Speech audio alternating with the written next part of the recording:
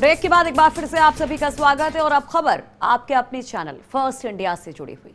दरअसल कुछ खुराफाती लोग आपके चैनल की ब्रेकिंग न्यूज़ की पैकेजिंग में फर्जी खबरें सोशल मीडिया पर फैला रहे हैं। इस तस्वीर में हम आपको जो दिखाएँगे, उसमें आप देख पाएँगे कि कैसे 10 तारीख की वो खबर थी जिसमें हमने बताया था कि एक मई तक लॉकडाउन बढ़ सकता है।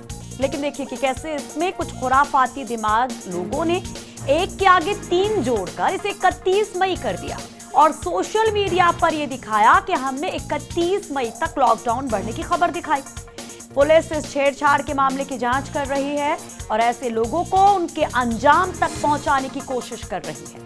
हम ये कहना चाहते हैं आपसे कि आपका चैनल विश्वसनीयता के पैमाने स्थापित करने के लिए जाना जाता है तो ऐसी अफवाहों पर ध्यान ना दें। ये पैनिक क्रिएट करने की कोशिश है। ये इमेज खराब करने की कोशिश है।